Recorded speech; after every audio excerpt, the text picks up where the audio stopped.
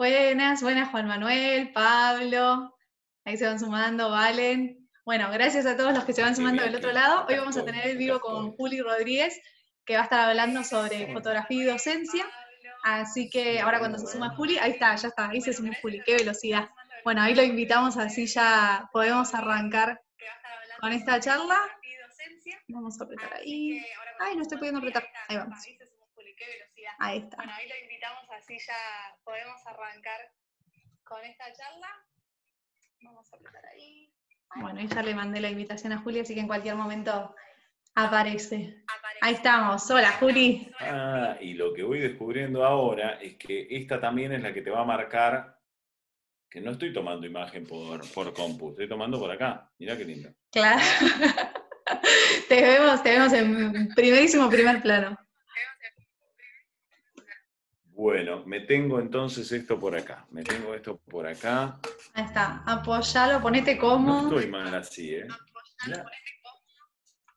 Mirá, si no parece Ahora te vemos, te vemos cabeza para abajo, lo único. Yo estoy al derecho, dado vuelta estás vos. Así es. Bueno, che. Ahí estamos. Lo tengo en la mano y listo, bien. Lo tengo en la mano ¿Cómo andas, Juli?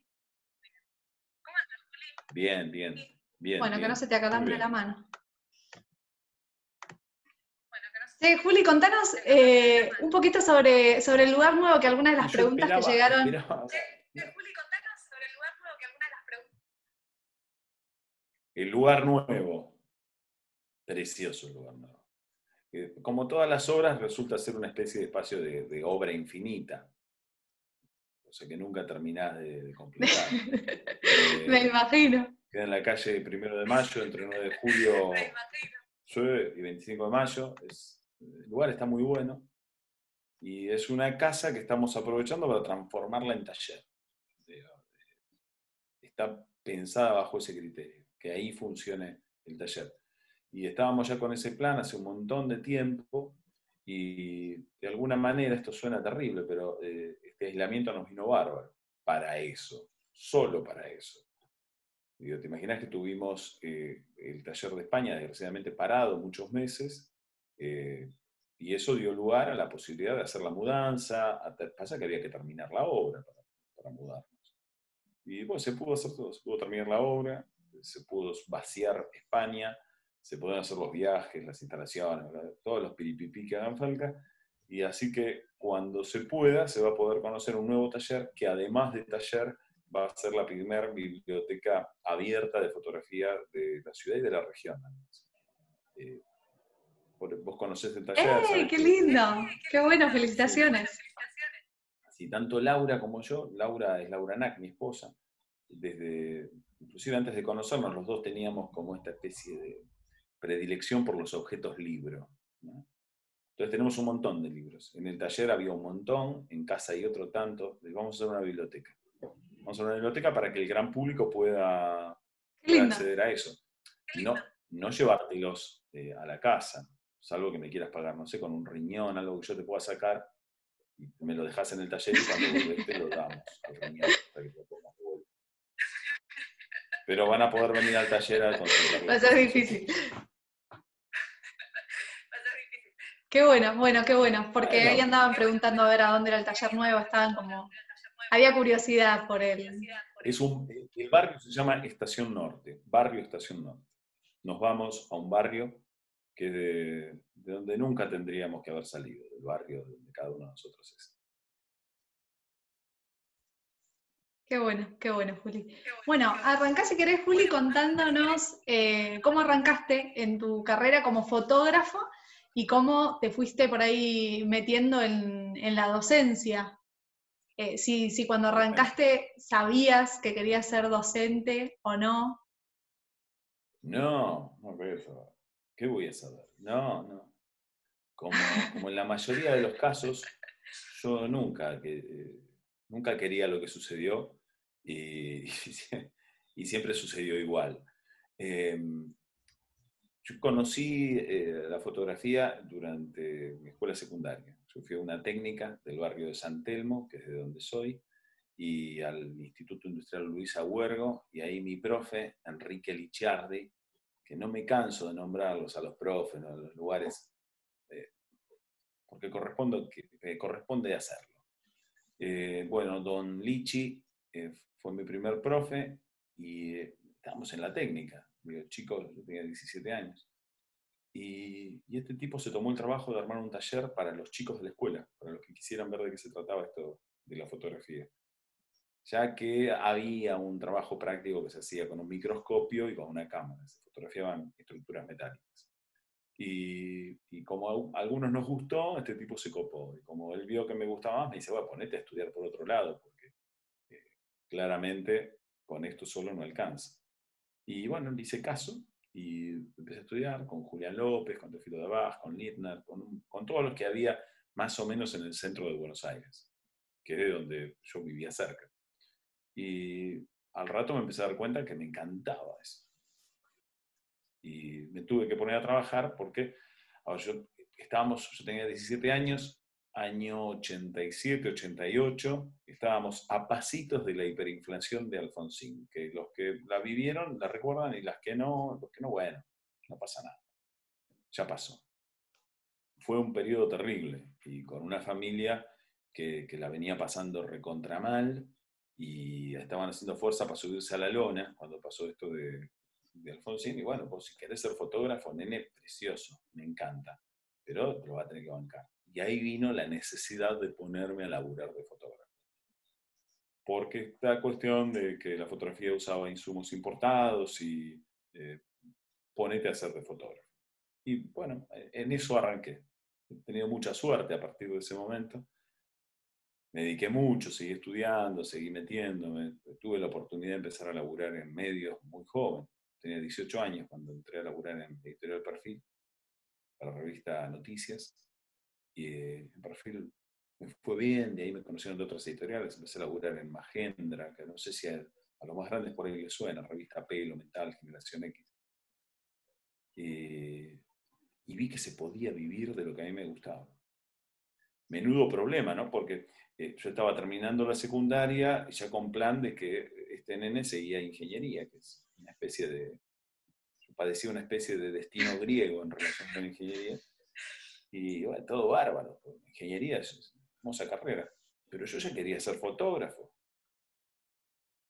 ¿Ves? Es como, no sé yo, que conozcas a una melliza y que te guste la otra. Sí, sí, sí. sí. Y, es más o menos lo mismo, ¿no? No es lo mismo. Hacer entender a la primera que, claro, eh, no es lo mismo el, queso que el vino. son, ricos los dos. Pero. Y bueno, hubo, hubo años asiagos, recuerdo, en aquel momento, donde tuve que decidir entre una cosa u otra, entre seguir con la foto. Pero bueno, yo ya estaba trabajando de fotógrafo. Me había hecho un lugar, era un reportero. Pero nunca, nunca arrancaste con ingeniería. Sí, cómo no, claro.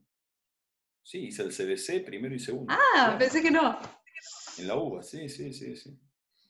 Eh, y por, eso, dejar, dejar la UBA para dedicarme a, a, la fotografía era de alguna manera una especie de... Sí, de lleno a la fotografía. Sí, pero era, era algo más. ¿eh? Yo me acuerdo que en mi casa hubo algunos que me miraron, bueno, si es lo que vos querés, y, hubo quien me dijo, está loco. Yo tenía un profesor en la escuela que además era profe en la UBA y eh, no, no, era profe en la UBA, conocía a otro. Y cuando le fui a contar, se me dijo, no, no rompa las pelotas, Rodríguez. Se aplaudo. Dice, ¿qué fotografía? Saque fotos, después se ve de viaje, saca fotos, no rompa los huevos. Si viene bien, no rompa los huevos. Y Pero yo que, es que para mucha gente es impensable que se puede hacer algo diferente a lo que le dicen que es correcto hacer.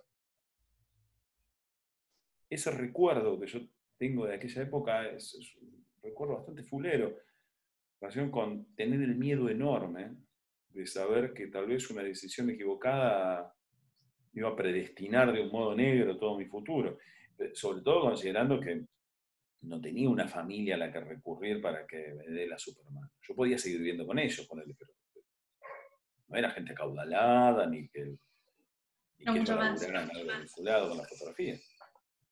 Eh, entonces, evidentemente, impulsado por la necesidad y una vocación entre moderada y fuerte, le metí a esto.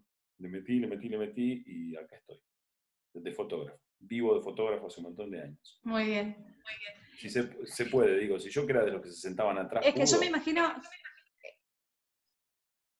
eh, era bueno. Sí, más que nada que ahora, o sea, bueno, siempre con, con lo que es arte, por ahí cuesta un poco más animarse o está todo este como prejuicio de si se puede vivir del arte o no. Eh, actualmente, bueno, y antes me imagino que mucho más también. Por ahí, bueno, y justo eh, en un momento por ahí que se estaba arrancando un periodo de crisis, o sea, no tenías ninguna a favor, digamos. a favor, digamos. Sí, em, tenía a favor la, ilusión de que me iba a morir joven, así que más vale que le meta, cosa que no pasó después del final. Yo creía, yo creía que como mínimo yo merecía morir joven. Eh, y no, fueron pasando los años y no, ¿ves? Otra cosa que yo consideraba y no sucedió. Eh, por otro lado, consideraba que me, me tenía que apurar con algunas cosas, porque tenía mucha urgencia en aquella época. Y, y bueno, seguí, qué sé yo. Soy un tipo feliz, labura de, de lo que... ¿Y por, qué ramas de, de la fotografía? Bueno, como te contaba, empecé a laburar, eh, hacía lo que podía. ¿eh? Le, le he estropeado casamientos a gente, he hecho fotos de porquería de chiquilines en la casa, en, la, en el parque. eh, Recuerdo esos tiempos de secundaria eran tremendos. Eh, le estropeé el casamiento a un vecino, que también el inconsciente contratar a un nene de 15 años para que te haga el casamiento, de 15 no, 17, de 17 años para que te haga el casamiento. Por favor, ¿en qué cabeza cabe? ¿Quién? Ay, no, no, pero es un chico macan. ¿qué No tenía ganas de gastar mucho. Claro, claro. Entonces, eh, en ejercicio de esa ventaja eh, fundamental, él me compró los rollos, yo le di los rollos y creo que habrá aprovechado, no sé, una, una docena, dos docenas de fotos. Todo lo demás no, otra porquería, era para hacerse argentina, no servía para nada. Bueno, Eh, pero haber entrado en perfil en tiempos de Eduardo del Río, como jefe de, de- de fotografía, me ayudó mucho. Eduardo a mí me enseñó mucho, me, me criticó mucho, me cagaba a pedos todos los días. Yo evidentemente también hacía cagadas todos los días. Y me sirvió de vínculo para conocer a otros fotógrafos que por ahí necesitaban un pibe que labure de pinche en su estudio y ahí me fui. a- y trabajaba en, un, tiempo con, con las revistas, cubriendo shows y esas cosas, que es prácticamente lo que más hice, y cubría la noche. Los shows y esas cosas eran para pelo, metal, para, y para Magendra. Y cubría la noche haciendo fotos de paparazzi, de, de alcahuete. A ver, yo no digo que todos los que laburan de paparazzi eran alcahuetes. Yo me sentía un alcahuete laburando de paparazzi. ¿sí? Esa, es la verdad. Pero es algo que me fue pasando con el, el tiempo. Y hacía eso y durante el día yo sentía que estaba en un estudio de fotografía eh, publicitaria, muy sólido, muy respetado, de la, ciudad de, de- de Buenos Aires, aprendiendo la gran fotografía, la Fórmula 1 de la fotografía. Eh, laburé en el estudio de Julio Viard, que todavía somos amigos, y aunque él dice que no, yo lo siento mi super maestro, a Julio Viard. Se los recomiendo, con B corta y ARD. Un fotógrafo que no debe faltar en la cabeza de los que dicen que les gusta la fotografía. Eh, entonces, prensa, publicidad y, y ver qué laburo salía, qué curro había. Mi motivación no era, como algunos suponen, jugar al fotógrafo, comprarme un chaleco, decir que había estado en Vietnam, ese tipo de cosas. Hay, un glamour imaginario en el público que supone que ser fotógrafo te da, una onda que es absolutamente falso, es un laburo como otro. Es como ser plomero, pero nosotros no sabemos nada de plomería. Eh, Se nos pincha un caño en casa y sonamos. A ellos no, que ya saben cómo arreglarlo. Los fotógrafos lo único que sabemos hacer es una foto, es una pelotita. ¿Entendés? Sirve para un cumpleaños, para cuando alguien se desnuca en casa, para un peritaje, pero no hacemos cosas muy útiles.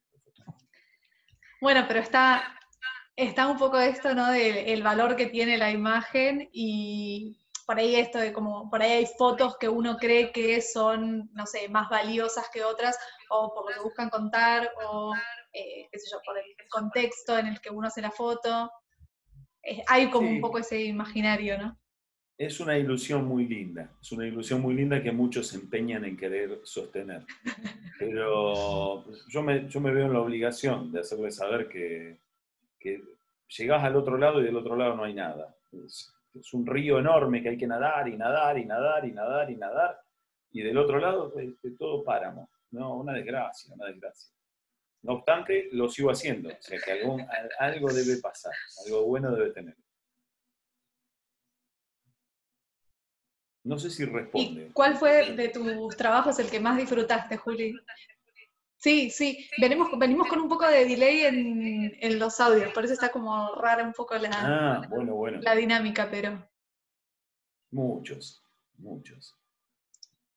Eh, yo soy feliz muy seguido, eso, es cierto, eso es cierto. Eh, mi laburo de ahora lo disfruto barro, eh, muchísimo, muchísimo. Inclusive ahora que me toca dar clase esto es la habitación de mi hijo. Virtual. Eh, estoy en casa, estoy dando clases desde casa, hasta que terminemos de acomodar el taller nuevo y me pueda ir para allá a liberarle el espacio por el muchacho. Ahora, por suerte, no está acá, pero si no, es una desgracia.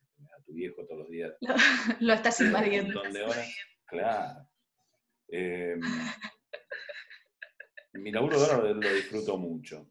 Y la época del rock la pasé muy bien. No lo volvería a hacer, ¿eh? pero sí, la cobertura del rock. Y cuando cubría la noche, yo empecé a cubrir la noche a los 17, sí, 17, ya casi 18 años. 18 años tenía. Eres chico. Sí, cuando empecé a cubrir la noche. Cubrir la noche es eh, ir a fotografiar qué parejitas hay en cada lugar. Entonces, te tratás con, con las relaciones públicas de cada zona, de, cada negocio y te dicen, bueno, hoy tenemos a Mengana y a Sultano. Y después tenés los alcahuetes de la calle que te dicen, bueno, si el que estás buscando es al juez fulano de tal, está comiendo en tal lugar con tal otro. y ese dato para mí era muy importante porque laburaba en, en noticias, en Editorial Perfil, la de Fontevecchia, durante eh, Menemato. Claro yo entré a fines de gobierno de Alfonsín y el inicio del Menemato, con, los, con el rol imprescindible que empezó a tener perfil en aquella época. Entonces se aprende mucho, mucho. No sé si era buen negocio, pero yo la pasaba muy bien. Muy bien. Eran cosas muy divertidas. Por acá preguntan, por acá pregunta, Fede Ferrante pregunta, eh, una gran alegría y felicidad que te dio la fotografía y que nunca vas a olvidar, ¿cuál fue?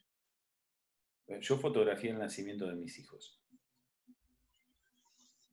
Hmm. Qué lindo. Sin duda. nunca, nunca mostraste esas fotos, me parece. los ojos los tengo. No, sí. Las fotos del nacimiento de tu padre. pero eso es maravilloso. Maravilloso. Me acuerdo, mira, Fotografié un montón de gente. Qué lindo, Juli. gente haciendo hijos, gente eh, muriendo, fotografié un montón de personas. ¿sí? Claro, pero fotografié el nacimiento de mi hijo, el más grande. Y de la más chiquita no pude porque, porque en la clínica 25 de mayo no me dejaban. No sé por qué, pero no me dejaban. Y, y Anselmo. Eso, porque. Eh, ¿Cuántos años tiene tu ya? 17. 17. En ese momento nadie, eh, nadie tenía fotos del parto, me parece. No era. pero tuvo la suerte. Ahora hay, como una movida un poco más. Clínica del niño.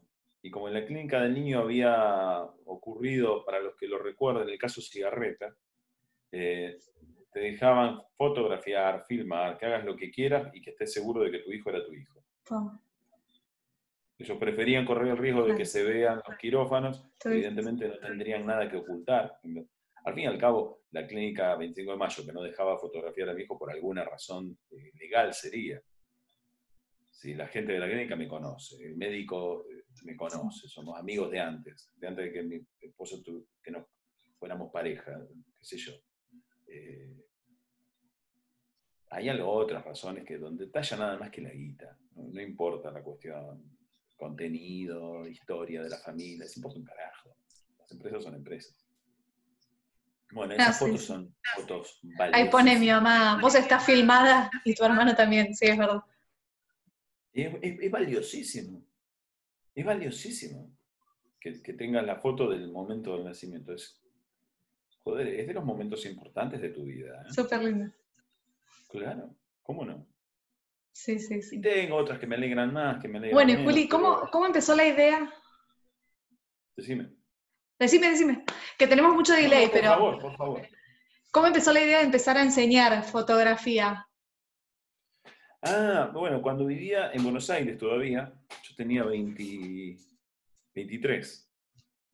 Un cliente que tenía, eh, tenía una inmobiliaria con un montón de, de- de locales, de sucursales.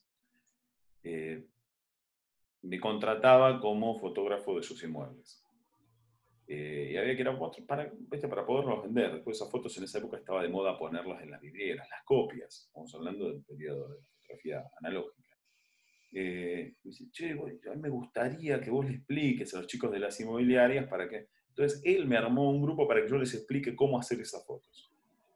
Qué es lo que tenían que hacer, qué es lo que no tenían que hacer. En Buenos Aires. Eh, en Buenos Aires. Eh, algunos siguieron, algunos les interesó y que ser muy cauto con, con la explicación de este. Bueno, él, por alguna razón, él quiso ser parte del grupo, ahí está. Con esta información sobra. Eh, y eh, terminó siendo el más manija de todos los estudiantes. ¿sí?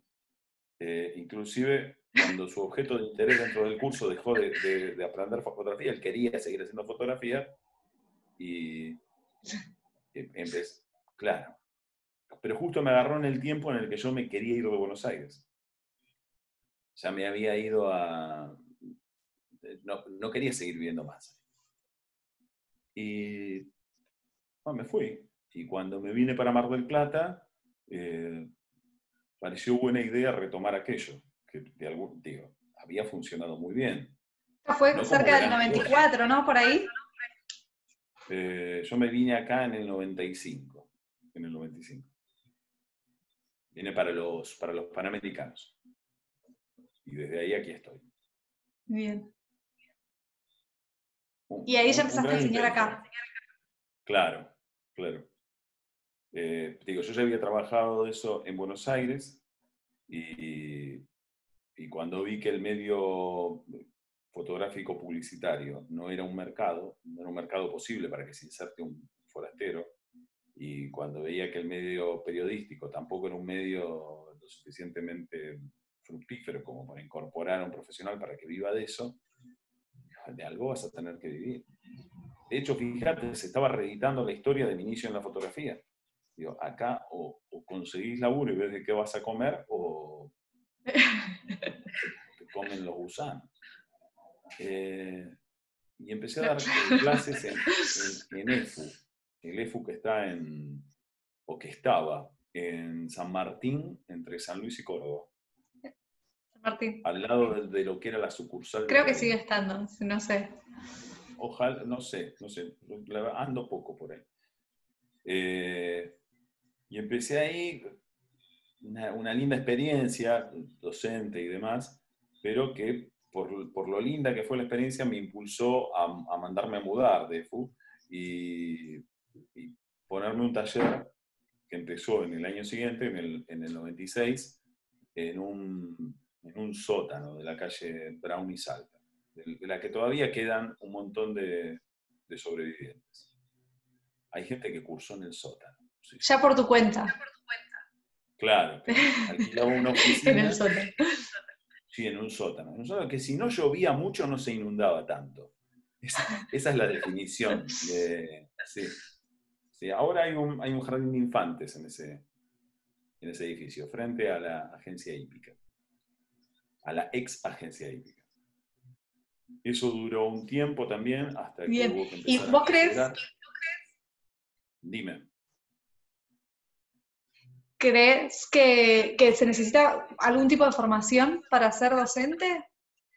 ¿O, no sé, estudiar materias pedagógicas? ¿O que viene un poco en la bien. sangre? Muy buena pregunta. No, en la sangre lo que viene son oxígeno, glóbulo, proteína, esas cosas. Eh, no, no, a ver, no solamente que cualquiera puede ser docente, sino que cualquiera lo es. ¿Sí? Como quién puede ser feliz y quién no. Cualquier persona puede ser feliz. Docente puede ser cualquiera. Ahora, ¿es bueno? Si la pregunta es, ¿es bueno que tenga formación? Sí, sí, es muy bueno que tenga formación. Es muy bueno. Aclaro esto porque cuando yo empecé no tenía. Empecé como te conté. Un fotógrafo devenido a docente a los 23 años para contarle a su cliente y a sus empleados cómo hacer para que las fotos no le salgan todas mal. Eso es la explicación más corta. ¿Y qué, es, qué crees que por ahí te hubiese servido saber a vos, por ahí en tus inicios como docente? Eh, ¿Qué cosas por ahí te faltaban o qué crees que, tiene que tener alguien para ser un buen docente? Muy, muy buena pregunta esa, Lu. Eh, lo que hace falta es saber más del otro. Y yo no lo sabía. Hace falta saber más del otro y yo no lo sabía. Em, si tengo que asumir algunas cuestiones personales, yo te podría decir que siempre fui medio nerd, medio de meterme con todo en casi todo lo que hago. Soy una de esas personas de qué sé yo, no sé. No me, no me dieron el diagnóstico por, por escrito. Bueno, es bueno, es positivo. Soy un, poquito manijón. ¿sí? Em, entonces, claro, con la fotografía, que es lo que me gustaba y que me encantaba, yo seguí con la, a la misma velocidad que traía de la carrera en la UBA. Entonces, claro, le metía como loco. Porque existía en mí la suposición de que el conocimiento era condición suficiente para hallar el salvoconducto a la felicidad. Fíjate qué pelotudez. Yo creía que, el pensamiento lógico, claro, que, el conocimiento y, y el, y el salvataje intelectual era un camino de salida a cualquier tipo de problema. Toda vez que dudaba de mis habilidades emocionales, consideraba que mi razón me iba a salvar de casi cualquier cosa. Por eso te decía antes que es tan importante aprender a conocer del otro. Eh, lo que me costó mucho es empezar a aprender del otro. Conseguir ponerme en el lugar del otro. Me costó mucho. Me costó mucho con el correr de los años lo aprendí. Pero tampoco tampoco era estúpido, ¿no? era un poco, eh, un poco nerd, como te contaba. Estaba muy metido en la cuestión fotográfica. Eh, era un estudioso, inclusive, y sigo siéndolo, ¿no? de la fotografía, de los códigos y cómo funciona todo esto. ¿Pero por qué? Porque me gusta. Es como el tipo que le gustan los autos o le gusta el fútbol y sabe cómo forma un equipo que ya no juega más. ¿Para qué sabes esas cosas?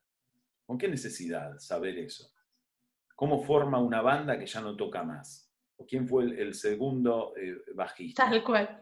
Para, los tres shows. Es, un, de verdad es un malgaste de la vida saber esas cosas. Como otras que yo sé de fotografía. Bueno, intereses personales. Hace falta saber cómo ¿Y en relación? el otro aprende. Ese es el meollo. ¿Cómo es que el otro aprende? Claro. Em, lo que fui descubriendo con el correr de los años es cuáles son los caminos y cuáles son las puntas que se disparan cuando el otro quiere aprender. Desde ya que saber de fotografía importa. Bueno. Porque está contrademostrado que el que no sabe de fotografía no clava una foto buena ni a patadas ninja. O le puede pasar una vez cada tanto, perdida. Pero en verdad, ¿cómo construye el otro conocimiento? Claro es muy difícil. Ya que, ya que mencionás eso, Juli, eh, ¿cómo, ¿cómo, pensás o cómo llevas una clase donde por ahí los tiempos de aprendizaje son distintos o los intereses son distintos, eh, sobre todo cuando trabajás con grupos? Ah, claro. Bueno, es que en verdad lo que profundamente importa es cuáles son los tiempos de aprendizaje, no los tiempos de enseñanza.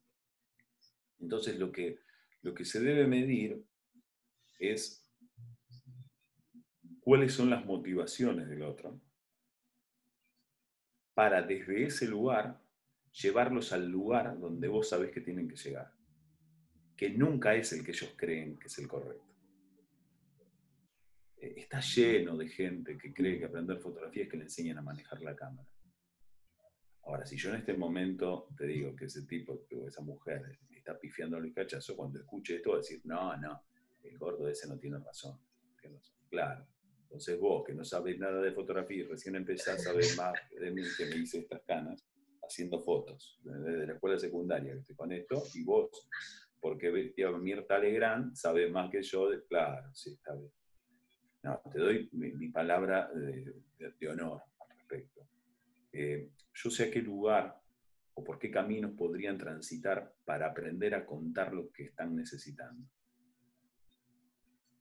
Eh, el camino que les propongo tiene que ver con que lleguen a saciar sus deseos. Lo que ellos sospechan es que hay que usar algunas herramientas y lo que yo sé es que hay otras que son verdaderamente útiles. Lo que hago es mostrarles de qué manera. Claro, bueno, el tema... Decime, decime, seguí, perdón. No, no, que lo que hago justamente es enfrentar qué es lo que ellos suponen con lo que yo sé que funciona pero no que me funciona. Mis clases desde hace muchos años tienen muy poco que ver con la fotografía que yo hago. Digo, por ahí en mis primeros años, los primeros cinco años como docente, por ejemplo, me encontraba con que muchos estudiantes hacían fotos que no estaban mal, pero que eran fotos muy parecidas a lo que yo hacía o lo que me gustaba hacer a mí. Dice, claro, por eso te elegimos para que seas nuestro docente, pero le pifiaste, querida, porque te estás creyendo en algún momento que mi deseo debiera ser tuyo, o al revés. Es que es, una, locura, es un disparate creer eso. Y sin embargo, hay quienes lo creen, quiere decir que no. Son felices con eso. ¿Me escuchas bien? el tema por ahí es que cuando uno empieza, sí, sí, yo te escucho bien. Eh, eh, digan por ahí si escuchan bien también, pero sí, yo escucho bien.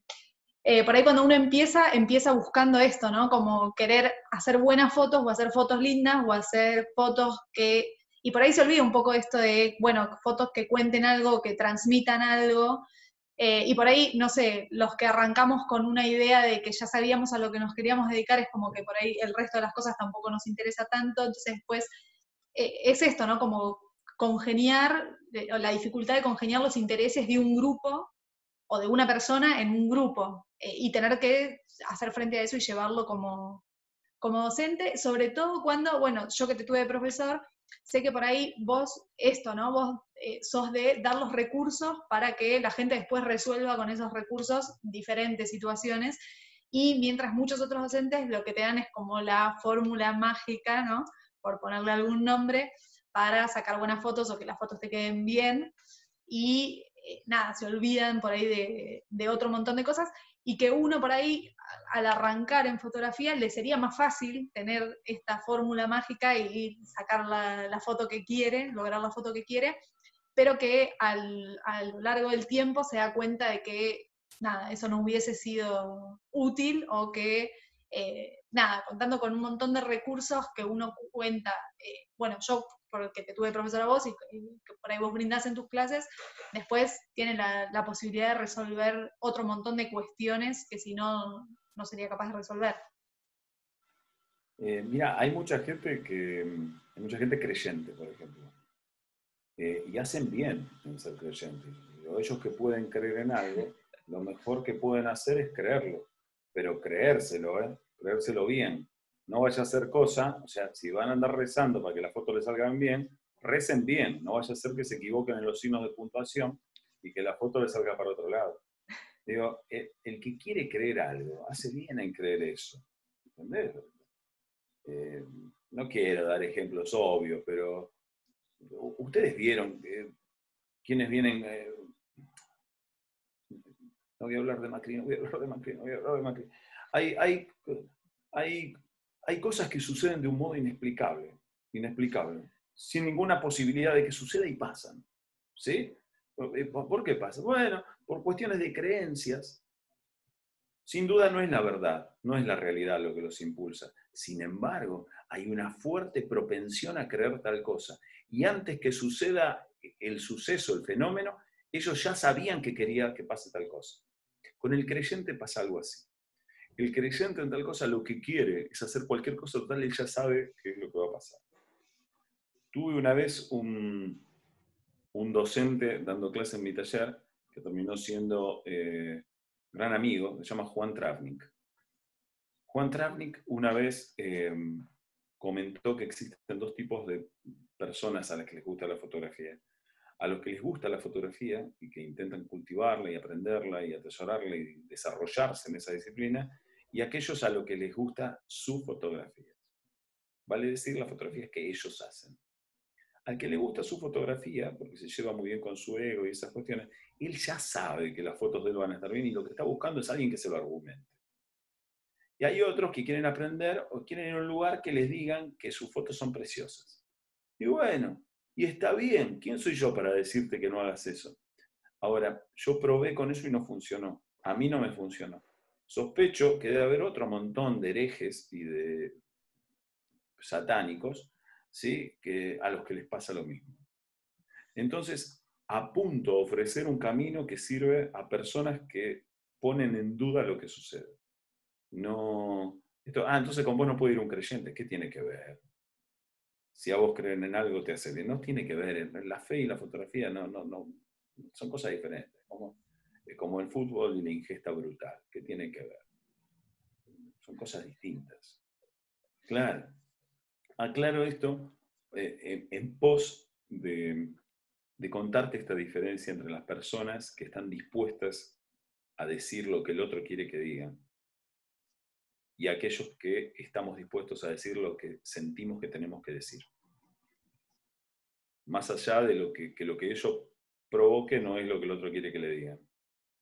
Ahora, si yo digo lo que vos querés que yo te diga y mi argumento es que vos me pagás para que yo haga eso, eh, yo no me sentiría bien, yo no me sentiría bien haciéndolo.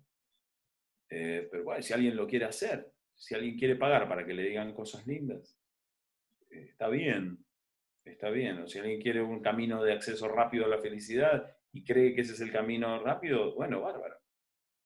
Eh, no es una verdad mía esta de que la apoteosis del, consumismo es el enamoramiento de la prostituta. No porque está mal, no porque esté mal, nos enamoramos de lo que queremos. Pero nos enamoramos de lo que queremos o nos enamoramos de aquello que estamos pagando para que nos diga que nos quiere. ¿Se entiende este punto? Tal cual. Sí, se eh, el aprendizaje, Ahí, el aprendizaje es un camino. Sí. No, te iba a leer una pregunta. Termina si querés la idea. Em, el camino del aprendizaje, eh, cuando está llevado por alguien que, supone a, qué lugar hay que llegar, es bueno que lo hagas saber, digo, no hay sorpresas. Yo no es que te voy a decir que vas a aprender tal cosa y terminas aprendiendo otra. Yo te doy mi palabra de honor que vas a aprender fotografía. Pero la que tiene que saber qué fotografías quieres hacer sos vos.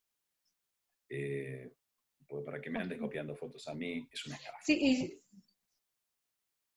No, tal cual. Y yo creo que es un proceso también, ¿no? Un descubrimiento y por ahí, eh, si uno está focalizado en que quiere hacer una cosa en particular, eh, no le abre, como no abre un poco el juego para todas las otras cosas que puede hacer y que no, que desconoce también. Entonces está bueno tener esto, una visión amplia o tener los recursos para después poder saber si realmente eh, los va a usar o no. O sea, que uno pueda decidir. Mira, te doy un ejemplo súper claro, súper concreto. Muchas personas llegan al taller o me contactan por redes diciendo que quiere aprender un poquito de composición y un poquito de iluminación. De eso, eso está lleno, para ser dulce. Y hasta es una oración que repetimos eh, con mi compañera, mi compañero a cada rato. Che, uno que quiere 150 de composición cortado fino. Y claro. Nosotros, claro, nosotros, sí, porque es para hacer muchos sándwiches. Eh, nosotros sabemos que es imposible que aprendan a iluminar si no saben exponer hay un abismo entre iluminar y alumbrar. Alumbrar es para que se vea el patio y que no, te, que no pises una, zanja y te mates de un golpe. ¿Sí? Para que no pises al perro, para que se vea qué es lo que pisas. Pero iluminar es provocar deltas, diferencias tonales. Y si no te das cuenta cuál es el sentido de la diferencia tonal y del tono, lo que me estás pidiendo es que yo te diga en qué posición va el flash. Si en verdad hubiera una respuesta seria a eso, el fabricante del flash te lo pondría en el, en el librito, ¿viste? Hay un librito cuando te lo venden. Pues, ¿Por qué no te lo ponen? ¿Qué? ¿Porque es un pijotero el chino que lo hace?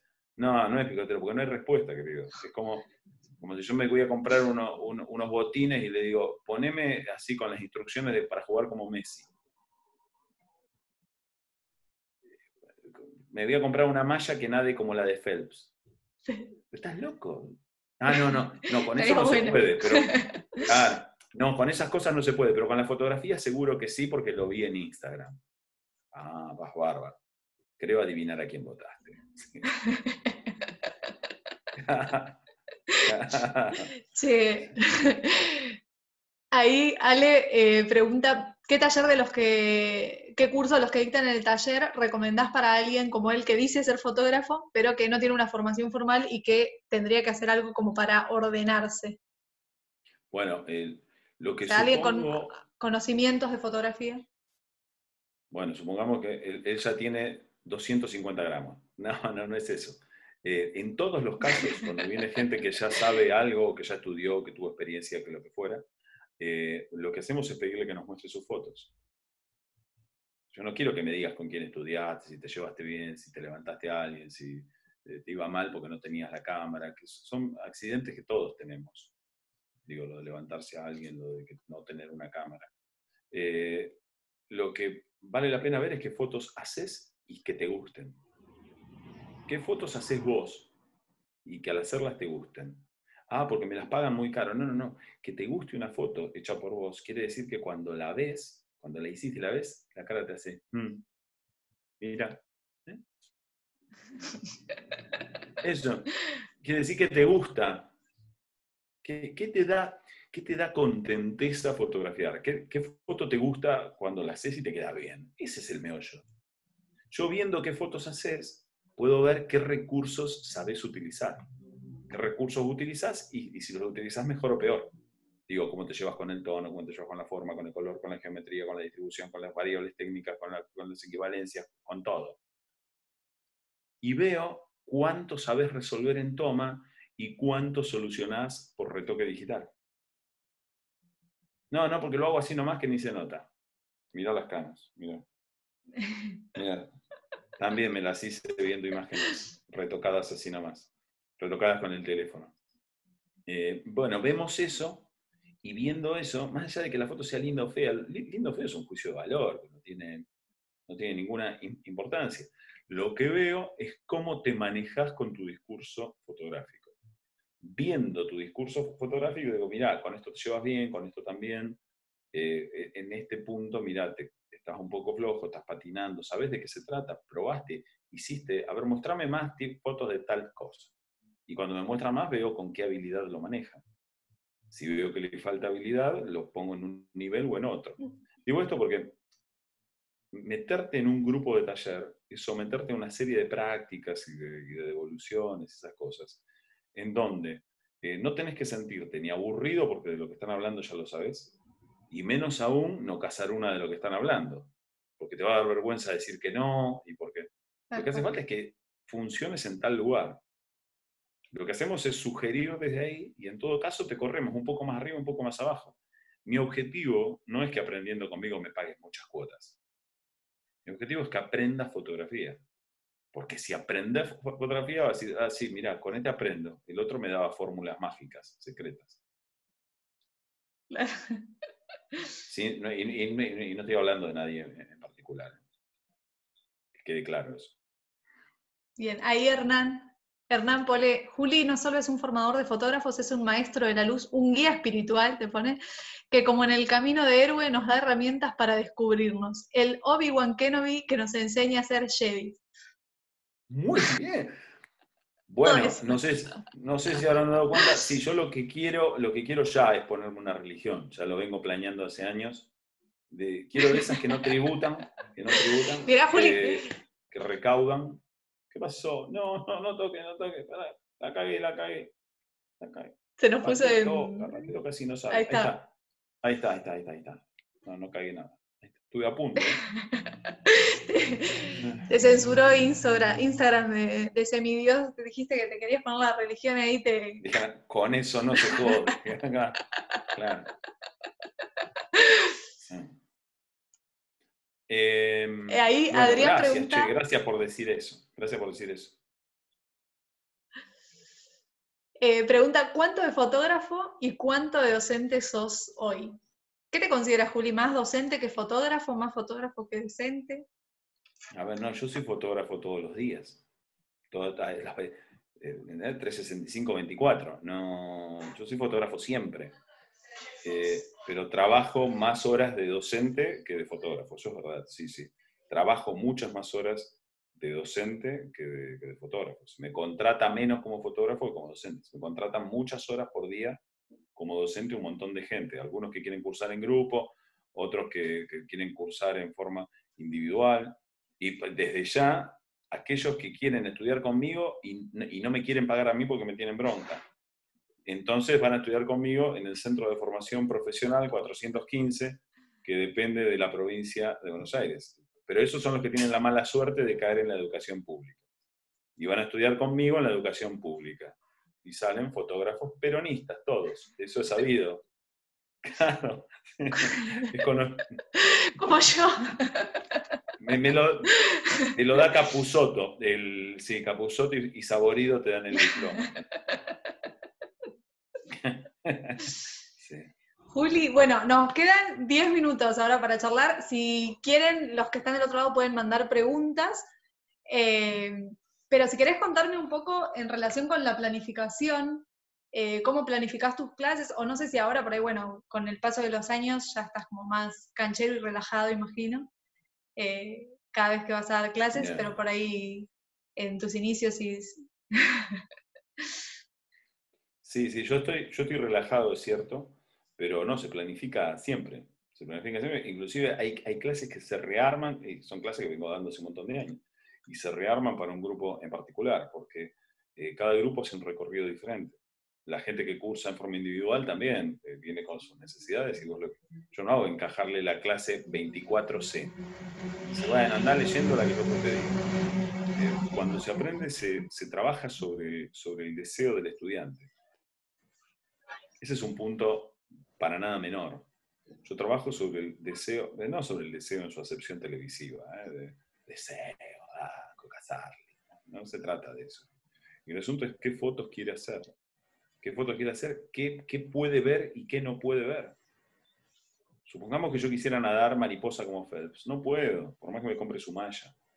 Y por más que me vea todos los videos de Phelps. No, me sale. Pues, no tengo ni ese cuerpo, ni esa capacidad, ni esa edad, ni nada. Entonces, eh, mi deber es llevarlo por el camino, bueno, mira, puedes hacer esto, puedes hacer esto, y cuando adquieras otras herramientas podrás hacer otras cosas. Por ahí va la cosa, por planificar en función de qué es lo que el otro puede y cuál es el camino que yo le propongo. Se planifica siempre. Y se planifica qué es lo que tienen que saber para poder hacer. En el taller lo que se hace es fotografía, hacer fotografía. No es leer un, ver un tutorial y aprendértelo de memoria. Es aprender a hacer. Bueno, vos lo has padecido y tu madre y otras pobres víctimas que andan por ahí. ¿Y cómo, cómo hace Juli para, mantenerte actualizado todo el tiempo? Después de tantos años. cada uno de los temas que aparece, o cada uno de los temas que me parece imprescindible volcar cada vez que aparezca, eh, es investigado. Desde, desde uso de nuevas herramientas a eh, nuevos códigos de comunicación, que es en verdad sobre el tema en el que yo estoy parado. Digo, yo no, no, el taller empezó este año, sumó a su oferta en, en la línea de Adobe, que tenemos el Photoshop y el Lightroom, el Capture One, que es una especie de competencia de, Lightroom. Lo da un docente que está especializado en eso. Eh, ahora, ¿qué? ¿Por qué es mejor? ¿Es peor? Como si, como si fuera una, una respuesta binaria, ¿no? De ceros y unos. No, tiene algunas características que se acomodan para este y otras para el otro. Bueno, yo los conozco, eh, pero no como para ponerme a dar clase de eso. Hay especialistas en cada una de las cosas. Eh, yo estoy muy metido en los códigos de comunicación visual contemporáneos, muy metido, es mi tema y tiene que ver con algo que es siempre dinámico y sobre lo que tengo que estar actualizado porque es cómo se expresa visualmente la sociedad de la que todos somos parte. Hay que seguir estudiando. Así que mi sugerencia es que si no te gusta mucho esto, no te metas porque no, porque no te en fin, es como la tristeza.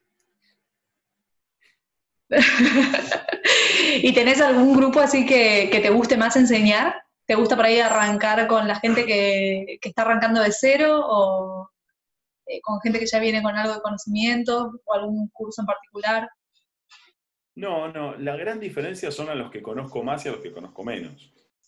A medida que los vas conociendo más, eh, ahorras muchísimo tiempo en relación con, eh, con qué caminos tomar, por qué, por qué lugares ir. Eh, les, conozco la obra, les conozco la familia, les conozco, sé, sé por qué lo hacen, cómo lo hacen, qué problemas resolvieron y cuáles no resolvieron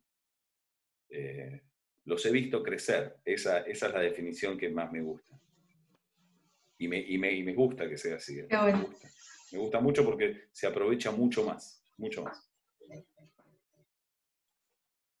Y en relación con los desafíos, Juli, por ahí, ¿cuál fue el mayor desafío tuyo que tuviste o que tenés actualmente como, como docente? Por ahí en relación con lo que buscas transmitir eh, a los alumnos.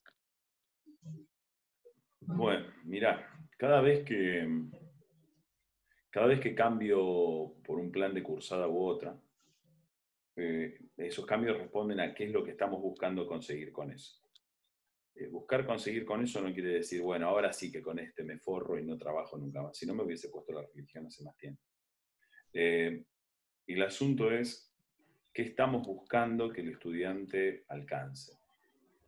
Digo, que estamos ¿Tras qué objetivo vamos? ¿Vamos tras el libro? ¿Vamos tras la fotonovela? ¿Vamos tras el video? ¿Vamos tras la conclusión de una película? ¿De un proyecto multimedial? ¿Con participación de músicos? Eh, ¿En qué proyecto estamos? cada proyecto nuevo es como una especie de territorio de novedades, que en verdad personalmente me vuelve, me vuelve cada paso y cada clase como más eh, eh, estresante los años me han demostrado que vivo en una matriz de estrés y que de alguna manera la disfruto, porque es la, única explicación que le encuentro a todo esto. Eh, es claro, me, meto en bailes que digo, bueno, no y, no, y esto nunca más, no lo voy a hacer nunca más. No, nunca más. Y al día siguiente, che, No, ahora vamos a hacer tal cosa. Ahora estamos trabajando en un proyecto de autorretrato que hay treinta y tantos de personas laburando, autorretratándose todas las semanas con eso se va a hacer un libro y una película. ¿Con qué necesidad? Y bueno, me gusta, me gusta. De alguna manera he descubierto que en mi trabajo como docente hay algo de trabajo de autor. Hay algo de trabajo de autor. Y, que lo disfruto así. Si no hubiese querido trabajar, me hubiese puesto otro negocio. El de la religión está bien. ¿eh? Bien, bien. está bueno. Ahí, bueno, mandan algunos mensajes eh, los chicos. Eh, y Juli, por ahí, como para ir eh, cerrando. Te pone muy buena la charla, felicitaciones. para ir cerrando, Juli, por ahí, ¿qué consejo le darías a alguien que, está iniciándose en la, en la docencia? Gracias por la pregunta. Jero pone que la, que la boca de Julián se mueva completamente descoordinada de lo que se escucha es una habilidad extraña que desarrolló en cuarentena. Estamos con delay, chicos. Bueno, todo el mundo sabe de mis habilidades satánicas. No solamente escribo al revés, hablo al revés. Eh, y hablo, hablo en, modo chirolita, estoy puesto hoy. Em, para, mi gran sugerencia es que sean honestos y honestas. Eh, les doy una pista. De, docente de fotografía no te haces rico ni a palos. Así que eh, más vale que te guste, más vale que te guste. Eh, y, es bueno esto de que seas honesta o honesto, porque lo que hace falta es que de verdad vayas tras lo que consideras importante que el otro aprenda. Porque no vaya a ser cosa que le pifies o que le hagas caso a tu amigo, a tu vecina, lo que fuera, que hizo un curso de, de dos semanas de marketing y si vos tenés que decir lo que el otro te pide que vos le digas, porque no solamente lo estás estafando al otro, sino que además no estás triunfando con lo que podría ser tu idea. Cuando llegué a Mar del Plata puse un taller que sin duda no era el taller más conveniente para montar. De hecho, durante muchos años no fue muy mal. Eh, tenía muy, muy pocos estudiantes. Eh, porque nosotros no le veníamos a hablar ni la, ni la regla de tercios, ni que había que dejar la agujita en el medio, ni que había que usar el rollo más barato y mandar a hacer copias grandes porque el laboratorio estaba entongado conmigo, eh, ni que cualquier foto te servía para hacer una exposición. Yo les venía a hacer un taller exigente, rompe pelotas como soy yo. Pero yo no es que me hacía el exigente. Yo soy un pobre tipo, un insatisfecho, ¿me entendés? Tengo que, que la sufre continuamente, ¿no? Pero así soy. claro, yo creo en esa, en esa presión y es la que me lleva a hacer la fotografía que yo siento. A los docentes lo que les sugiero es que sean fieles a lo que de verdad les pasa. Y es una gran diferencia ser fiel a lo que te pasa y a lo que vos querés, de ser fiel a lo que crees que te conviene. Posta, loco, que lo que conviene es hacer lo que sos.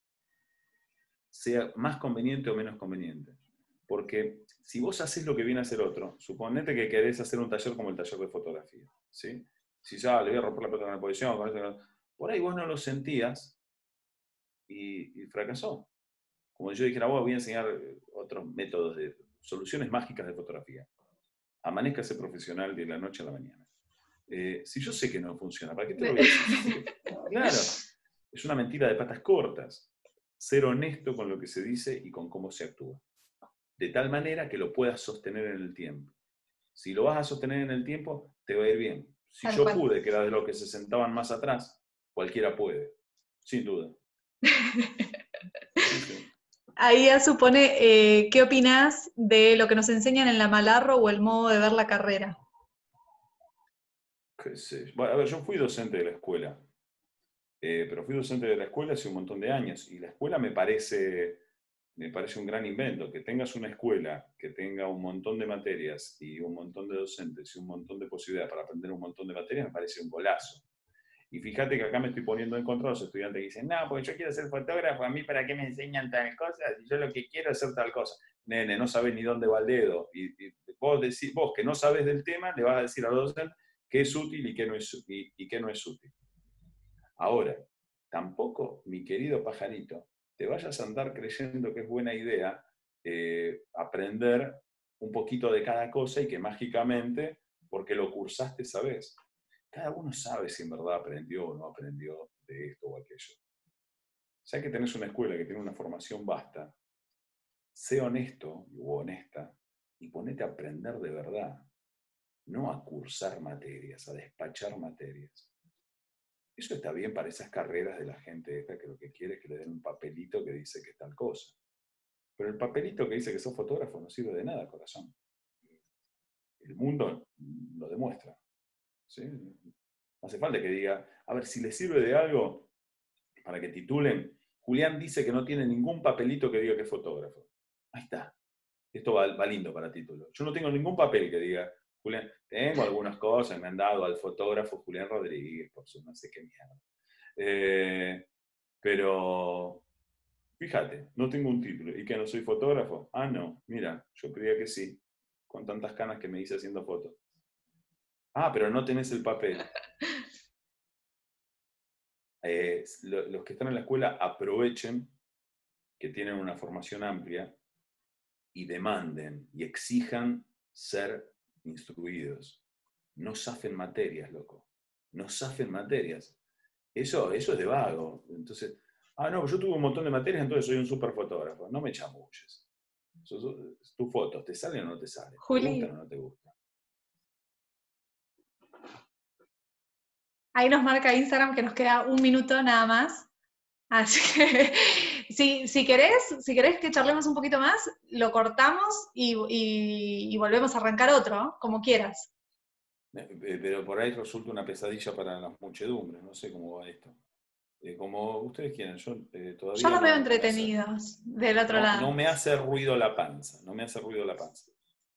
Dale, ya que estamos. Hacemos así, lo cortamos a este y, volvemos 15. Dale, 15 minutitos, 20 minutitos más y ya cerramos, ¿te parece? Lo que vos quieras o vos quieras. Bueno, ahí está, los que están del otro lado, no se vayan, que ahora nos volvemos a, sumar. Ahí estamos, Juli. bueno, pareciera que estamos con menos delay ahora. Es una ilusión, es una ilusión, es una ilusión. Esto va a empeorar, en cualquier momento empeora. Ahí está. Ahí está. Che, no, no, es un problema, digo, de, ignorante, ¿no? Eh, tener una cámara de transmisión para ese lado y otra por acá. Seguimos mirando acá, digo. no, bueno, sí, estamos un poco... sí. No, está bien, me vas a quedar en el, en, el, en el video de Zoom mirando un poco de costado, pero no pasa nada. Se escucha bien, así que... Claro. Te tenemos de perfil. Solo lo que importa es que estés de tu mejor perfil, Juli. Sí, sí, sí, es este, sí, siempre, siempre. A veces no, pero siempre fue este, sí. Bueno. Sí, Juli, si querés, eh, no sé, contanos un poco, por ahí eh, los que tomamos clases con vos, sabemos por ahí la, bola que le das la importancia a eh, resolver situaciones con pocos recursos. Por ahí vos siempre enseñás como las maneras de resolver las fotos sin tener todo el equipamiento necesario o más moderno de fotografía, como con las cajas de telgopor y todo eso, que para ahí a uno a veces le parece como, eh, nada, quiere usar como otras cosas, pero mm, ¿por qué crees que por ahí esto es importante o, nada, aprender a resolver las, las situaciones con menos recursos? No recursos eh, económicos, ¿eh? sino... Sí, sí, sí, sí, sí. A ver, eh, que no suene esto a eh, Julián te arregla la foto con Telgopor y esas cosas, en publicitaria es re común, por un lado. Pero por otro lado, em, digo, cuando me, se me contrata como fotógrafo y tengo que ir a un lugar a hacer fotos, yo no me voy con una conservadora de Telgopor a la embajada de Austria a fotografiar, claro, porque el tipo dice, para, gordo, vos me estás cobrando tanto por venir hasta acá y venís con un Telgopor eh, digo, en muchos casos sí conviene tener cosas piripipi. Porque igualmente el cliente no sabe, rara vez el cliente sabe. Eh, no sabe, lo que no hay que hacer es estafarlo, pero lo que tampoco hay que hacer es eh, ir con algo que resulte tan precario. Ahora, la luz que proviene de una caja ablandadora, digo esto para los que quieren buscar de qué se trata, o lo buscan como softbox, son accesorios que se utilizan para que la luz genere menos sombra. A ver, un ejemplo sería, eh, yo ahora estoy siendo iluminado por una lámpara de tipo detective, a ver si se llega a ver, acá está, ¿ven? ¿Se ve la lámpara de tipo detective?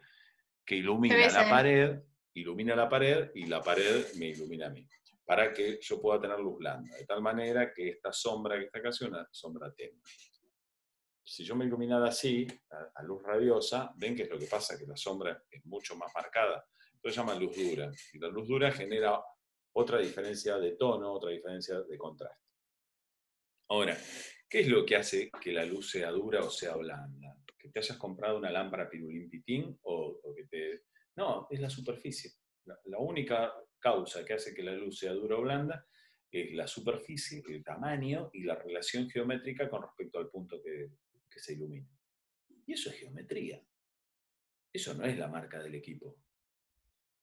Si vos haces formato medio, yo no te voy a decir que es lo mismo que uses la Hasselblad que uses eh, una de cartón con un agujerito estenopeica. Ah, pero estenopeica es muy linda, muy hippie, todo lo que vos quieras. Te un montón de tipos y minas a la vez, inclusive la pasas bárbaro. Pero, pero no es lo mismo la óptica Carl Zeiss, que no, no es lo mismo. Una cosa es la selección de un lente y otra cosa es la caja. Eh, ablandar la luz es una de las cosas que puede hacer alguien que sabe cómo funciona la iluminación. Porque en el otro extremo está aquel ingenuo o ingenua que cree que si se compra la caja que vale una luca gringa, las fotos mágicamente le van a quedar preciosas. Por favor, por favor, ¿cómo podés creer esas cosas? ya estás grande para que esos, esos golazos del mercado. Pero claro, el que lo vio por internet lo cree. Fíjate que, los tutoriales de cómo iluminar te muestran que te poner una caja de arriba, una pantalla de costado y un paraguas cruzado. No te dicen ni a qué distancia está, ni cuánto mide, ni qué F les da. Que es lo mismo que no te hayan dicho nada. Diría el gordo casero en tiempos que era bueno, diría, e-, era como que te vendan un disco cuadrado. Claro, en términos de iluminación y de variaciones tonales, si vos no sabés en qué valor te están quedando las cosas, es un problemón. Yo elegí este esquema de, iluminación porque me parece que funciona, porque despega, eh, va a mostrar detalles de la expresión de mi cara, muestra la magia de mi melena, ¿sí? Eh, y por eso elijo eso. Eh, claro, no porque esta luz sea así súper sofisticada. Estoy en la habitación de mi hijo. ¿Responde? Bien, sí, sí, sí, responde.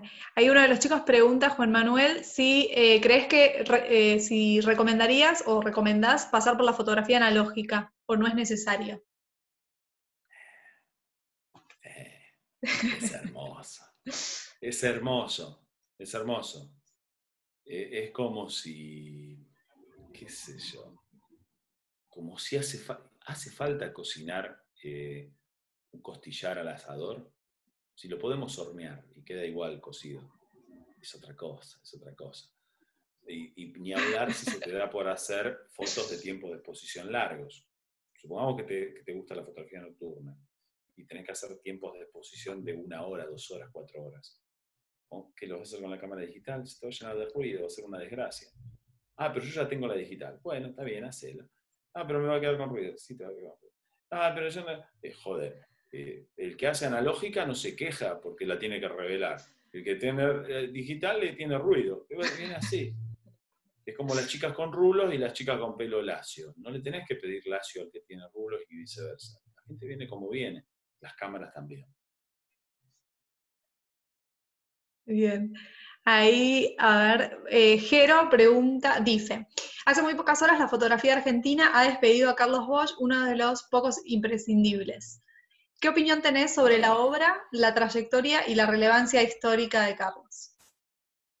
Eh, sí, es cierto que son imprescindibles, sí es cierto, y es una pena, y se los nombré a todos mis estudiantes desde el lunes, yo me enteré al mediodía que había muerto en la madrugada.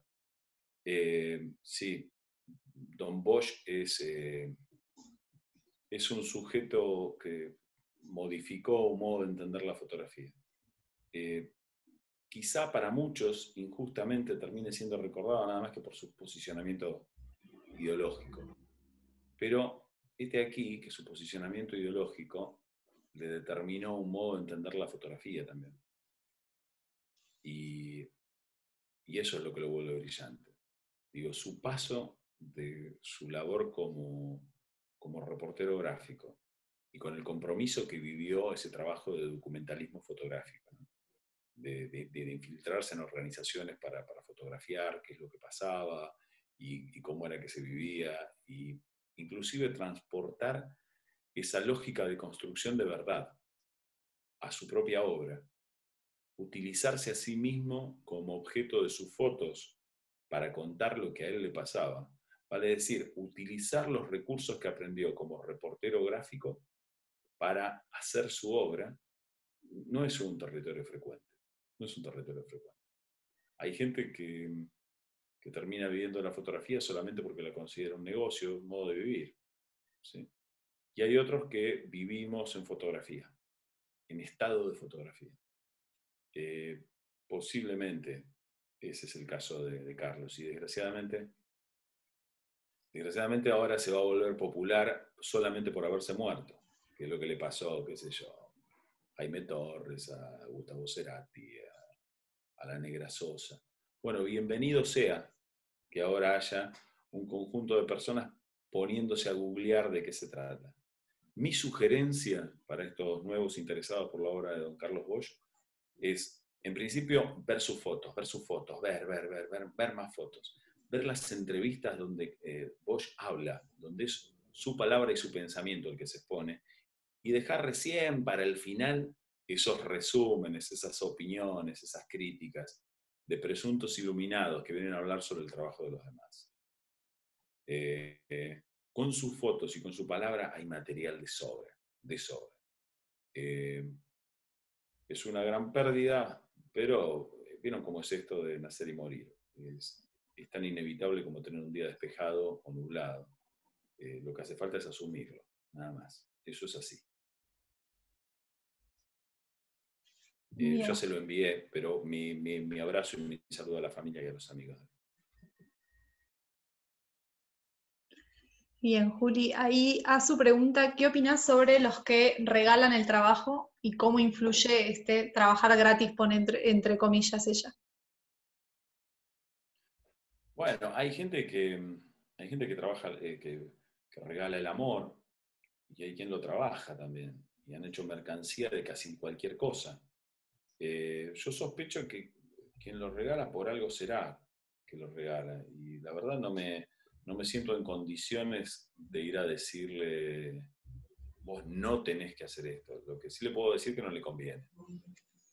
Que no le conviene porque he sabido que lo que cuesta vale. He sabido que lo que cuesta vale. Ahora, si la discusión pasa por, eh, bueno, lo voy a cobrar poco, así tengo trabajo y lo puedo hacer, eh, está bien. Esa persona sabe también cuánto no vale su trabajo. Eh, esta discusión acerca de cuánto se debe cobrar el trabajo y el precio del mercado y todo este tipo de cosas es antigua, es, muy antigua esta discusión. Eh, y aparentemente no, no, tiene una solución. No tiene una solución porque cada, el mercado se comporta de manera errática y traidora siempre. Digo, no siempre tiene el mismo rumbo y, y nunca juega para los que menos tienen. Fíjate que hay gente que tiene que regalar su trabajo perjudica al otro y sí lo perjudica, pero es la manera que esa persona tiene para entrar. Eh, quejarse sobre esas conductas que cometen los demás, digo, quejarse sobre lo ajeno, es como quejarse de que está nublado, que se despejó mucho, que hace mucho frío. Es así, papá. ¿Qué? Agua y ajo. Poco así. No podemos hacer nada por evitarlo. Juli, y por ahí, bueno, en relación con por ahí se habla mucho de que un buen fotógrafo tiene que especializarse, tener un nicho, eh, enfocarse en un tipo de fotografía. Y por ahí en la docencia es justamente todo lo contrario, ¿no? Porque uno como docente tiene que poder mostrar o enseñar eh, las distintas versiones de la fotografía para que el alumno elija. Eh, ¿cómo, se, ¿Cómo se trabaja esto en la docencia o cómo puede uno como fotógrafo por ahí de una rama. ¿Tienes los gatos maullando? No, sabes que tengo, tengo unos perros que cuando. Es una porquería. Cuando pasa alguna, alguna sirena de alguna bombero, de ambulancia, lo que fuera, le hacen eco. Pero tampoco me voy a pegar. Si me paro y le doy una patada a la ventana, se callan, pero no, no. Estoy, bajo control. Por ahí en la cara no se nota, pero tengo control de mí mismo. Tenés un coro. Bueno, volviendo, volviendo al tema. Estábamos con el ¿Cómo se trabaja en esos casos? Bueno, especializarse es bueno. Siempre es bueno especializarse. Eh, porque el que ustedes deben tener en la familia alguien que les sirva de ejemplo, esos que saben de todo, que de todo a ellos lo operaron de algo más grande, a ellos siempre les pasó algo peor, ellos siempre, siempre, siempre, ellos y ellas siempre, siempre, más. Bueno, eh, todos sabemos que esas personas que de todo saben, no saben de nada, de nada. Que lo que hacen o lo que quieren es decir que saben, pero no que porque lo sepan, porque lo que quieren es decirlo es otra cosa, totalmente distinta. Eh, con respecto a la docencia, eh, también hay que especializarse. Eh, el docente que dice que te enseña esto, lo otro, lo otro, lo otro, te está chamullando. Sabelo, sabelo, te están chamullando. el, taller, mi taller, taller de fotografía, que ni lo nombré, ni lo nombré. tallerdefotografía.com.a es el taller en el que a mí me hubiese gustado estudiar. Posta, posta, de verdad. Eh, yo fui docente en la carrera de comunicación social, en, la Universidad FASTA, en, Malarro fui docente, fui docente en la escuela secundaria, soy docente del Centro de Formación Profesional 415. Y la verdad, supongamos que al fin y al cabo se hace esta ilusión que yo tengo de morirme joven, que ya no, que ya no es tanto, pero sucede y supongamos que a mis hijos se les da porque quieren estudiar fotografía. ¿Y, ¿y a dónde van a ir a estudiar? ¿Van a quedar en manos de una porquería? Bueno, yo sé que existe el taller de fotografía que tiene un cuerpo de docentes lo suficientemente especializado como para dar respuesta a cada una de las cosas. Que no cayeron en manos de un, de un Illuminati que dice, sí, porque yo que uso chaleco de fotógrafo soy un fotógrafo bárbaro. Y vas a ver conmigo que vas a agarrar tanta fama como yo mismo, que soy un manantial de fama y alegría. Mm, que no les pase eso a mis hijos, por favor, ni a los hijos de mis amigos que siga existiendo el taller de fotografía.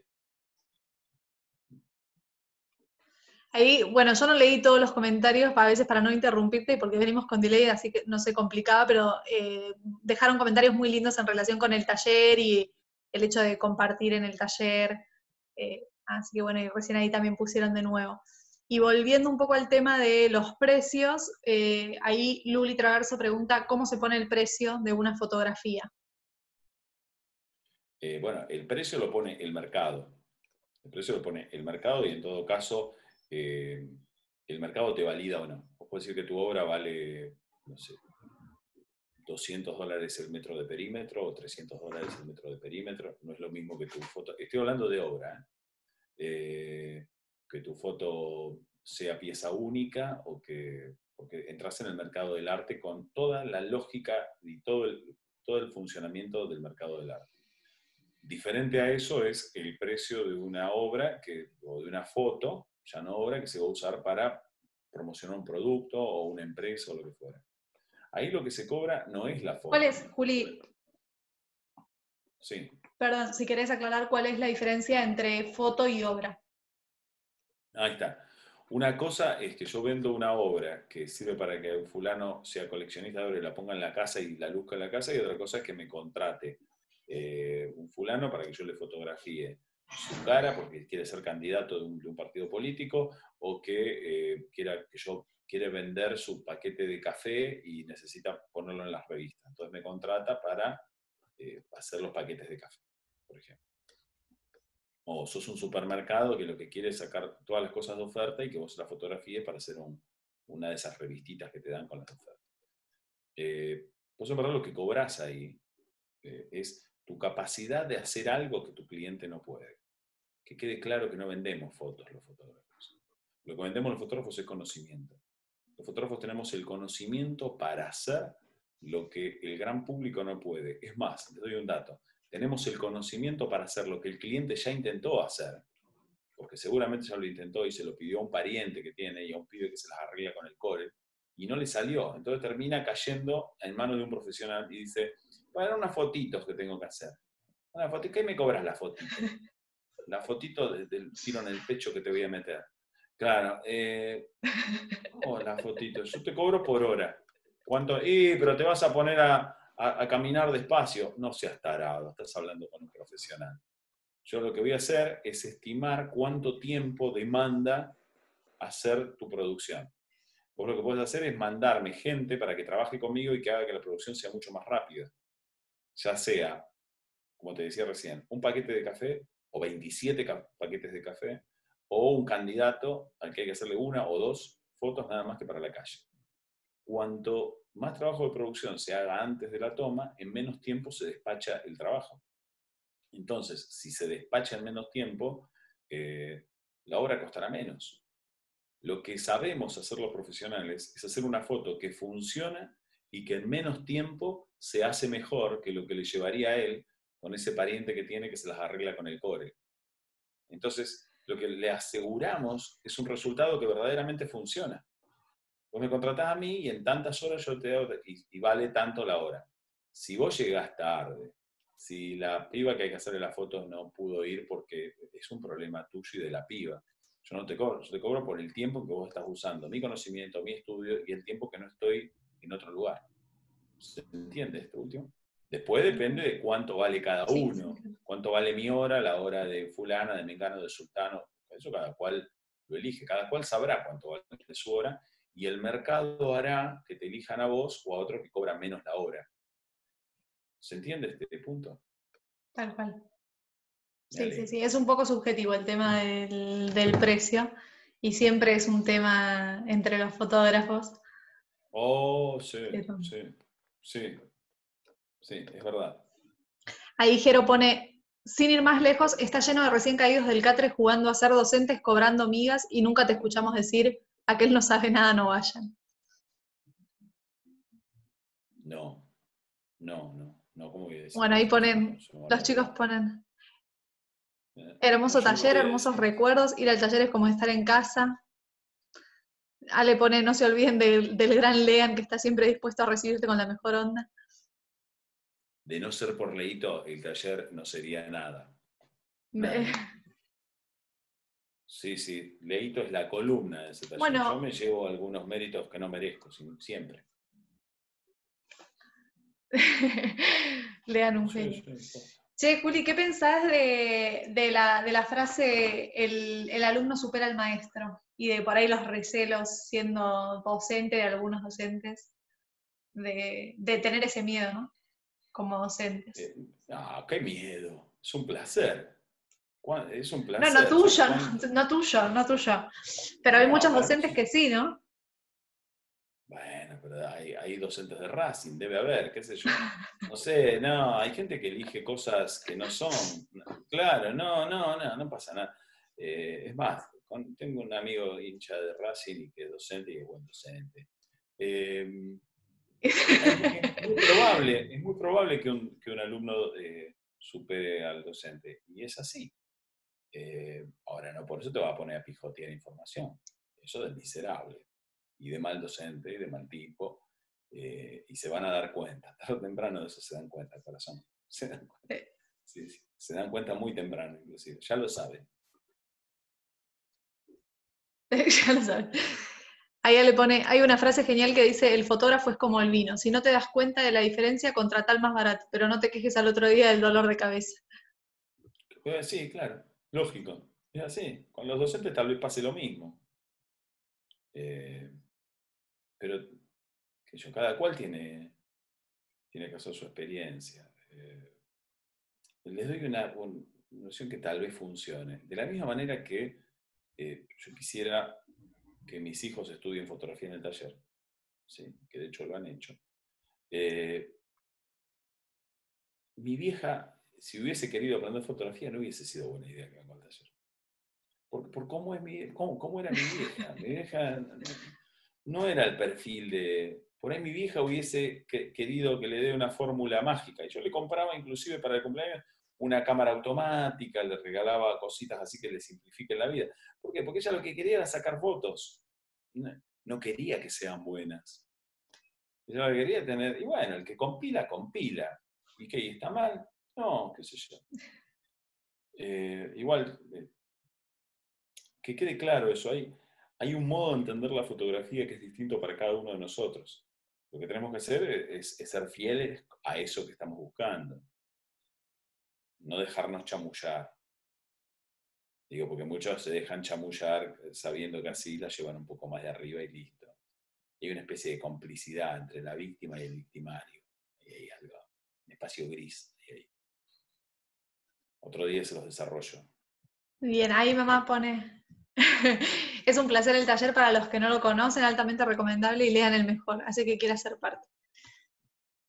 Bueno, Juli, yo ya no tengo más preguntas. Eh, no sé si del otro lado quedan preguntas para, para hacerle a Juli. Eh, si vos querés contar algo que no hayas contado, eh, o no sé, cerrar por ahí contando qué es lo que más te gusta de la docencia. ¿Cuál ha Eh, sido tu mayor aprendizaje como docente? Son dos cosas diferentes. Mira, eh, lo que más me gusta de la docencia es la risa de mis estudiantes. Tengo muchos momentos de cursada que nos cagamos de la risa, pero que nos cagamos de la risa. Y, y lo disfruto mucho. Es, es, es- yo en verdad paso muy bien muchos momentos de clase de, de cómo nos reímos. La pasamos muy bien con muchos grupos. Otra gente que no la pasa bien. joda. Pero hay otros que la pasan muy bien eh, y nos cagamos de la risa. Inclusive en muchas cursadas como esta, que salen a distancia, eh, y funciona igual, funciona igual. Y esa risa, ver esas risas hace muy bien. Eh, hace poco, inclusive para, para una nota que me hicieron por otro lugar, eh, desarrollé ese punto, hasta, hasta se lo escribí porque necesitaban textos sobre eso. Eh, esa risa es la risa que siempre me sedujo de otras personas. O siempre estuve enamorado de la risa más o menos frecuente de las personas de las que estuve enamorado. Eh, y, ver la risa de la otra persona me, alimenta, me alimenta, me da, lo disfruto mucho, mucho. Pero no porque me caliente la gente que se ríe, a ver que quede claro, esto no tiene nada que ver. Estar caliente con estar contento y cagándome de la risa. Eh, es, que quede bien clara esa diferencia. Eh, y de la mano de eso, tal vez una de mis, de, mis aprendizajes como docente eh, más fuerte tuvo que ver con alguna vez haber sido hostil de más o haber ejercido la, la honestidad de un modo brutal con quienes tal vez no estaban en situación de escucharme. Y bueno, tal vez herí algunos corazones, ¿qué va a ser? Eh, eso lo lamento, lo lamento mucho. A mucha gente le he dicho cosas que, que suponía que era correcto decirlo. Eh, y bueno, ¿qué va a ser? Lo lamento mucho. Eh, sepan que fui honesto, sepan que fui honesto, que les dije lo que creía que había que decir. Por ahí no era el momento de escucharlo. Sí, sí, no, no todos mis romances terminaron bien, vamos a decirlo. Vamos a decirlo. Ahí, Jorge Malimberni te manda saludos. Jorge Malimberni. Pues, eh, Canela con sabor pregunta: ¿Cuándo vas a mostrar fotos del nuevo taller? Ah, tengo, tengo, tengo. Pero ahora está un quilombo. Le, voy a hacer un anticipo. Pasa que si lo busco ahora, si lo busco ahora, algo me dice que voy a hacer cagada, porque tengo una mano. Después la, subís a las historias. Ahí está, te lo subo a las historias. Tenés que subir todo el proceso, Juli. Eh, ya está, esa foto está. No ajusté, no toqué, viste cómo es esto de la casa de Herrero, ¿no? Tengo un montón de fotos, sí. Total. Está lindo. Sí, sí, está linda la casita. Está fachera, facherita. Está fachera. Ahí, eh, bueno, mandan saludos de Perú. José, eh, Jero pregunta si fuiste espiado por el macrismo. Eh, sospecho que me lo tengo merecido. Que me lo tengo merecido y que hacen bien. Pero como seguramente lo hicieron mal, no consiguieron nada. Sí. Es como, como el día que Fasta me echó. Yo recién ahí me di cuenta que había hecho las cosas bien. Claro. Claro, hicieron bien en echarme. No me dijeron, te echamos por, por maldito hereje me echaron, pues dice, vamos a cambiar la materia, la materia no, tú ya no va a estar más, eh, ¿me entendés? Eh, dije, Bueno, ahí me di cuenta que ya, ya, era hora que me echen, claro, hicieron muy bien. Bueno, Isabela pone que quieren eh, inauguración post pandemia.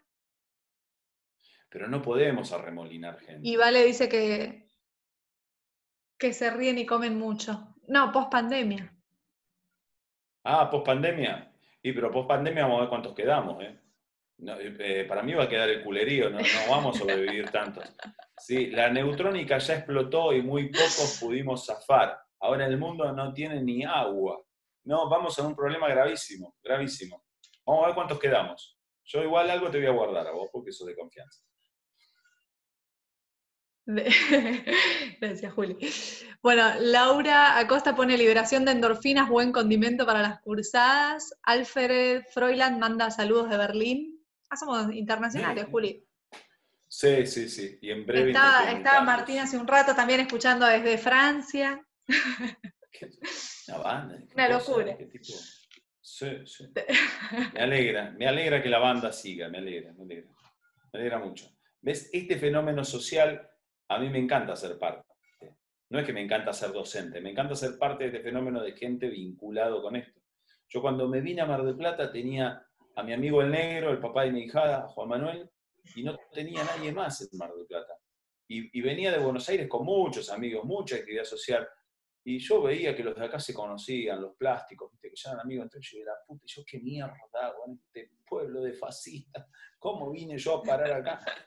Eh, y bueno, con el correr de los años, no solamente empecé a conseguir un montón de gente amiga con disfruto mucho, sino que aparte muy pocos de ellos son fascistas. Es muy bueno eso. Considerando la concentración que habita la ciudad, ¿no? Claro. Sí, me va muy bien, me va muy bien.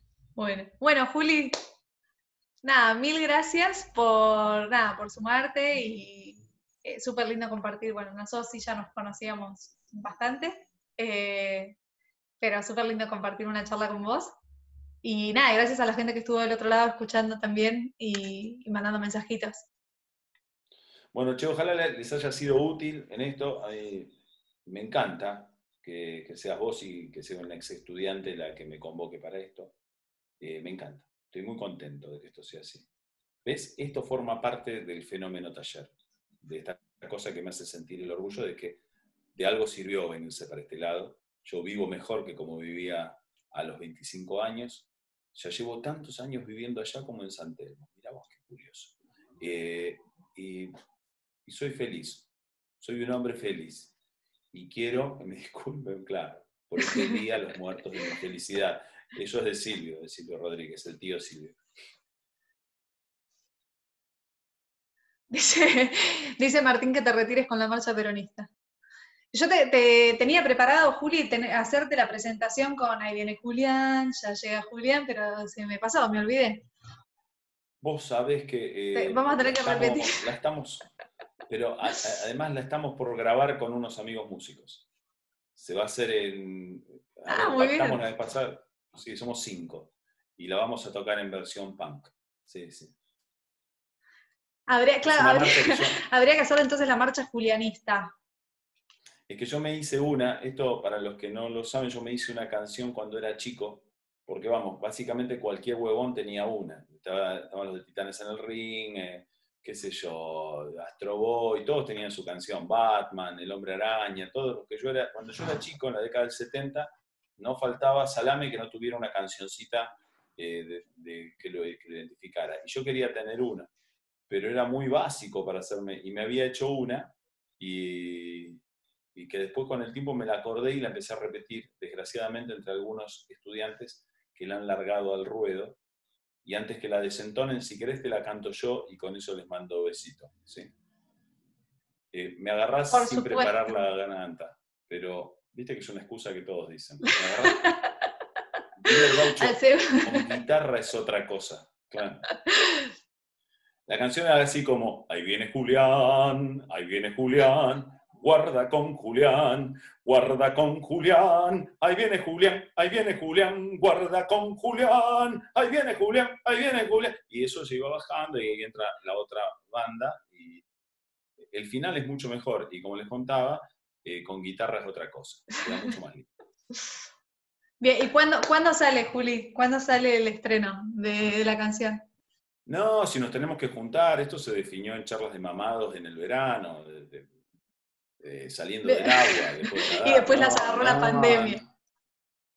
Y andás a ver quiénes de ellos sobreviven. Yo sí, pero ellos no sé qué les puede pasar. Claro. claro. Yo ya si no morí de joven ya está, ya coroné. no te va a agarrar la pandemia. No, no, para nada. A mí no. Bueno. Sí, a propósito, Juli, mil gracias para los que estuvieron al otro lado. Mil gracias.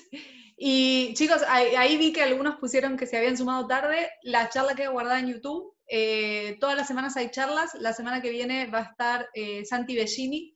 Eh, va, va, a ser una charla que también va a estar linda. Así que nada, eh, los que llegaron tarde la pueden ver en YouTube, va a quedar guardada ahí, y todas las charlas anteriores ya están guardadas ahí. La semana pasada estuvo Diego Izquierdo, que también estuvo muy linda la charla.